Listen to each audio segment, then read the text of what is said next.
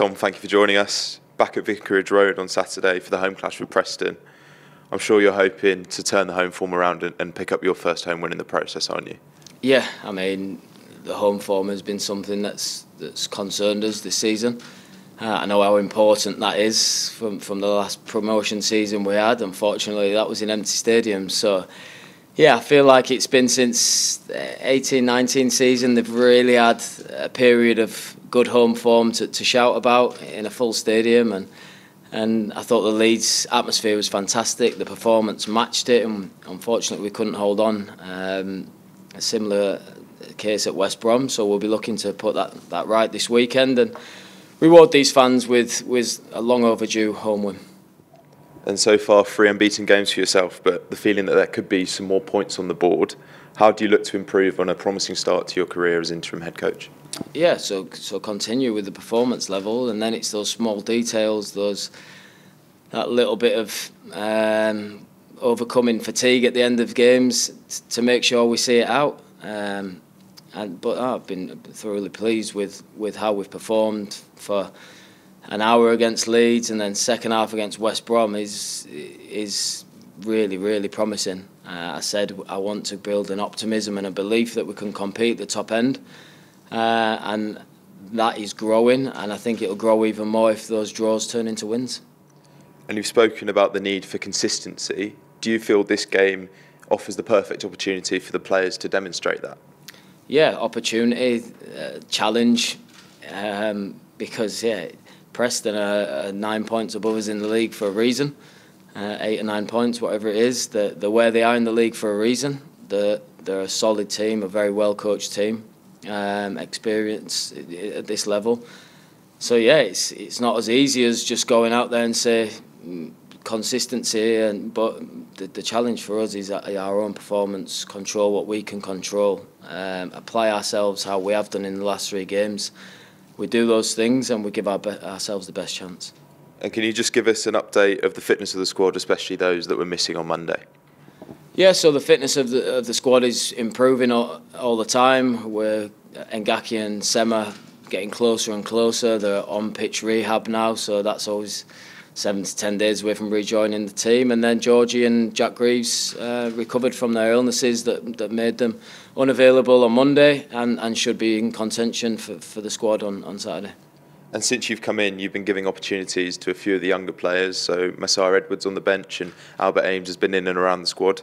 How impressive have you been with them since they've been stepped up? Yeah, so it's, it's something I've I've thought all season is Albert Eames should be around the first team squad his performances in the 18s and 21s and his all-round attitude. Um, he's deserved of that. Zav has, I think, impressed everyone since coming up. Um, the players, uh, the staff, uh, his, his attitude and his sort of the way he's not phased him making that step up. I, I was more than comfortable including him in the squad, and, and it's it's important these lads don't feel like token gestures to, to get the, the academy some re representation. It's they're live substitutes. They're, they're with us because I think they can help the team and and and Grievesy and, and Ryan and I'm sure I've missed someone, but yeah, Ryan's been the flag bearer for that, which which is a great to see that these lads see this journey is a realistic one. And how have you found it coming into the role midway through the season? Um, yes, I always try and work as hard as I possibly can, so I'm prepared for it. I don't think academy football was a good learning ground, but I don't think anyone can prepare you for this. Uh, anything can prepare you for, for what we've stepped into. What I can say is the support I've had, the players, the staff, um, the, the supporters have made it a much easier transition for me, and and yeah, I'm I'm thoroughly enjoying it and feel like we're doing as as well as we can. And you spoke about it's almost feeling like a pre-season. How important has that been?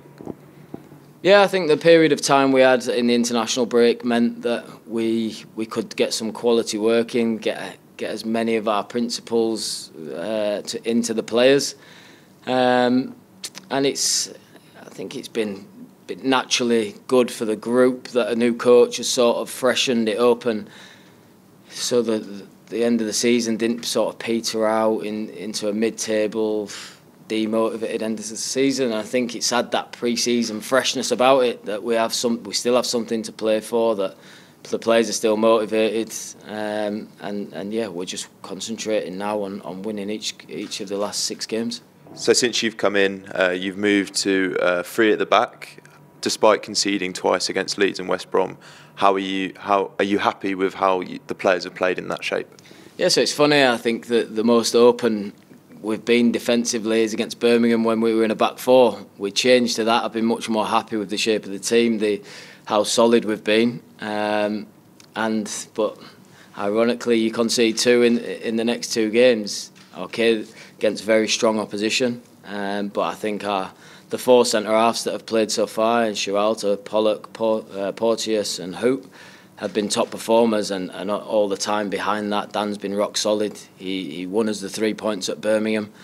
Uh, he was good again against Leeds and then the last two games have produced two exceptionally good goals. The first goal at West Brom was heavily deflected. So although we can always analyse how we stop these chances uh, being created I think yeah we can count ourselves that we're not going to come up against worldy strikes every game. And and the, I'm really pleased with the back three and, and Dan's performances. And just looking at the opponents on Saturday, what do you think you can expect from Preston? So Preston are a well organised uh, outfit, like I said, experienced at this level. Um, they, they win duels, they they work hard, they have quality, um, and yeah, like I said, they're ninth for a reason. They they do they do what they do well.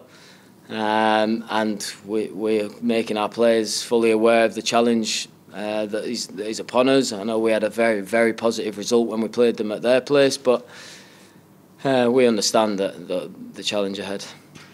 And the fans have been excellent since you've come in. Um, you know, great atmosphere at Vicarage Road on Friday, especially at Leeds. How important is the role that they can play on Saturday? Yeah, it's, I always think that the players should be the catalyst, but when when the, the two work hand in hand, it's a special place to be. Uh, that happened on Friday evening and we hope to replicate that as many times at Vicarage Road as from now to the end of the season. But uh, the away support has been fantastic as well. You know, um, we're feeling very well supported as a team and as a staff, uh, and and we hope that we can repay that. We'll work as hard as we can to repay that in good performances. Brilliant. Thank you, Tom. Cheers.